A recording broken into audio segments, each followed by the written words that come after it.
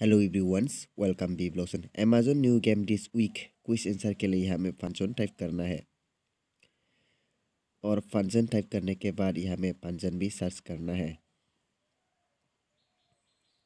और यहाँ में प्लेनो में क्लिक करना। प्लेनो में यहाँ में थोड़ा करना spin and one plus eleven यहाँ में क्लिक करना। और क्लिक करने के बाद स्पिन नाउ यहाँ में एक बार क्लिक करना।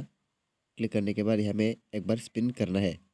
मैं एक बार स्पिन करता हूँ और स्पिन करने के बाद यहाँ में आंसर नाउ यहाँ में क्लिक करना।